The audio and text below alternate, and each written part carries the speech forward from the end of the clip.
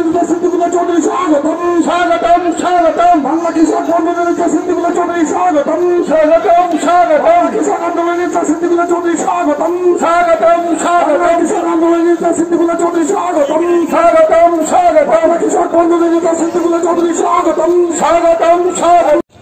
কেন্দ্রের বিজেপি তথা এনডিএ সরকার জমিয়ত হিন্দ আজকে साथ हो रही नाइंसाफी को लेकर क्या फिर आवाज़ बुलंद देखिए ये मुल्क के बसने वाले लोगों का हक है। हम उस हक को अपनी ताकत के बलबूते पर थोड़ा सा अदा करना चाहते हैं।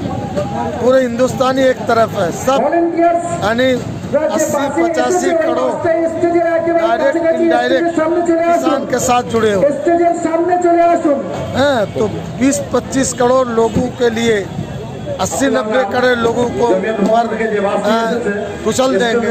ये ठीक नहीं है। आंदोलन करने में लोगों को सलाम करते हैं। सरदार जी भाई को हम संदेश देना चाहते हैं हम उनके साथ है।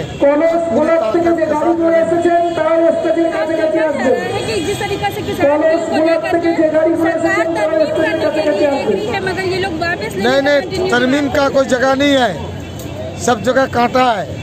ऐसा कोई वहाँ रास्ता है जहाँ कांटा कांटा को खड़ कर पाए रखा। नहीं जाएगा। बिल्कुल किसान के लिए में है इसका क्या मतलब है? मतलब है हम भी किसान है खाने पीने में सब लोग बराबर है। सब गेहूँ खाते हैं चावल खाते हैं सब हम लोग एक साथ वो केजरीवाल ने के जो है, उसने भी अपना मत दिया, उसने भी भाई देखे केजरीवाल का कर अलग है, लेकिन ये बिल रद्द करना चाहिए।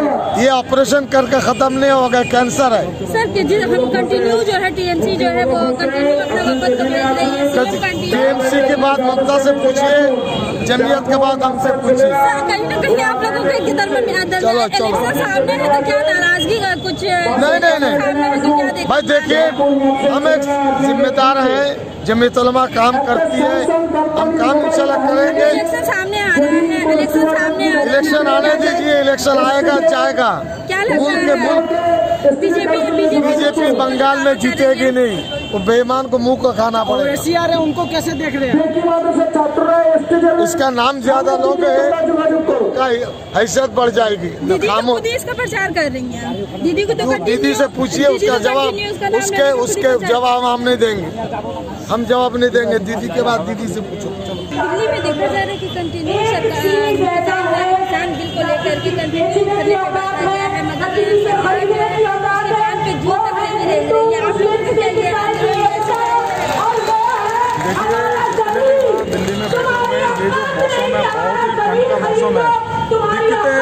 पे बहुत ज़्यादा हैं, लेकिन जो किसानों के, जो मजदूरों के हौसले हैं, उनके बुलंद हैं, उनका ये कहना है कि अगर हम लोग को ये आंदोलन साल, दो साल, चार साल में लड़ना पड़ेगा, हम लोग 24 तक का 2024 तक का टारगेट आए हैं, हम लोग को कोई दिक्कत नहीं है, सरकार जब तक झुकती नहीं है, बिल वापस नहीं करके हम लोग बैठे रहेंगे।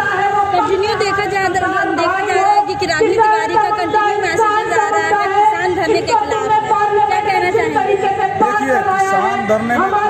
राजनीतिक पार्टी का कोई भी योगदान नहीं है। किसानों ने सबको अपील की है कि ये किसानों का आंदोलन है।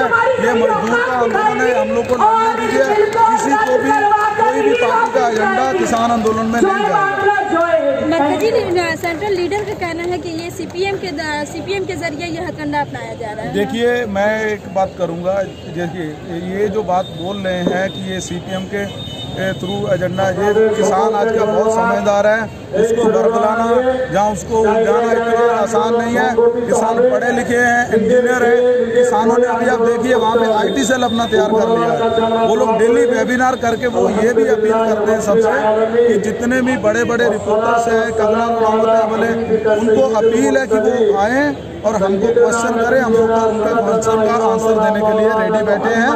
लेकिन वो प्रॉपर ही अपना पूरा क्वेश्चन जो रेडी करके लाएँ, हम लोग उनके आंसर देंगे। लोग इसी धरना को इसी तरीके से जारी रखिए किसान सरकार जो है वो तरमीम करने के लिए देखिए, किसान जो आंदोलन है, ये ऐसे जारी रहेगा जब तक बिल रद्द नहीं होते। इनमें सुधार करने की कोई गुंजाइश नहीं है। जितने भी जथेबंदियाँ, किसान जथेबंदियाँ ये लड़ रही हैं, उन्होंने लिखती रूप में सरकार को ये दे चुके हैं कि आपके यहाँ यहाँ पे गलतियाँ हैं। तो ये बिल हम लोग के हक में नहीं है, पूंजीपतियों के हक में है। तो ये बिल रद्द करिए। ऑलरेडी रिटर्न में वो दे चुके हैं हम। सबसे अच्छी बात तो ये है कि जैसे हम लोग दिल्ली में जाके आए हैं। तो मतलब सबसे अच्छी बात मैं यही कहूँगा कि जैसे वहाँ पे जो किसानों का धरना लगा हुआ है, जो स्टेज लगी हुई है वो स्टेज में किसी भी राजनीतिक पार्टी का कोई भी दल का नेता आ जाए वो उसको एंट्री नहीं देता है। एक आम किसान कोई भी जाके स्टेज के ऊपर में वो अपनी बात रख सकता है। तो ये सबसे बड़ी चीज़ है कि कोई भी अगर वो फैसला ले रहे हैं तो वो सब किसान भाई ही मिल के ले रहे हैं उसमें कोई भी राजनीतिक का जैसे आपने कहा कि सीपीएम वाले तो उसमें कोई भी राजनीतिक दल का हिस्सा नहीं है। जैसे कि पीछे हमारे दिल्ली के सीएम हम लोग वहाँ पे थे उस समय स्टेज पे। दिल्ली के सीएम आए थे अरविंद केजरीवाल। उन्होंने अरविंद केजरीवाल को भी स्टेज शेयर नहीं करने दिया था। तो ये पूरा का पूरा जो है किसानों कर रहे हैं। और जैसे है खाना पीना खाने पीने का कोई प्रॉब्लम नहीं है।